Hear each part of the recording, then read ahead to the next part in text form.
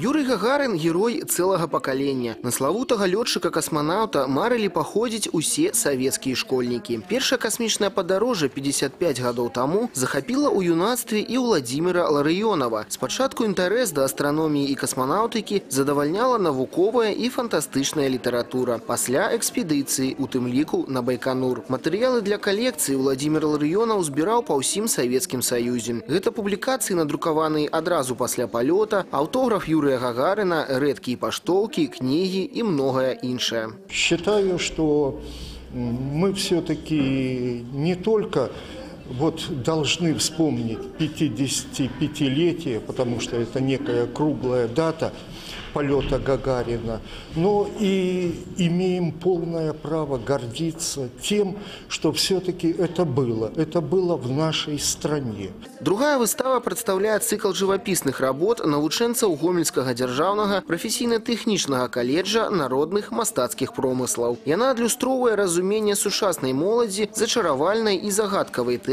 космасу. Дзве выставы, якія адначасова адкрыліся ў бібліятэцы імя Герцена, гэта своеасаблівая сувязь пакаленняў. Для рабят увасаблення касмічнай прасторы на палотнах стала першым падобным вопытам. Выкладчыкі адзначаюць, што для многіх творчы працэс быў няпростым, аднак кожны працаваў з інтарэсам і захапленнем. Дети работали впервые над вымышленным изображением.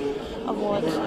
Это для них новая, такое, ну, новая такая работа, потому что ранее они работали над изменением, то есть дополнением, вот, а это было вымышленное. Когда нужно создать что-то с нуля, это гораздо сложнее. Выставы, прысвечаныя 55годдзю з дня першага палёта чалавека ў космас, у бібліятэцы імя Герцена будуць працаваць да 30 красавіка. Дмітрий Котаў, Ігор Марышченко, тэлерадыёкампанія «Гомель».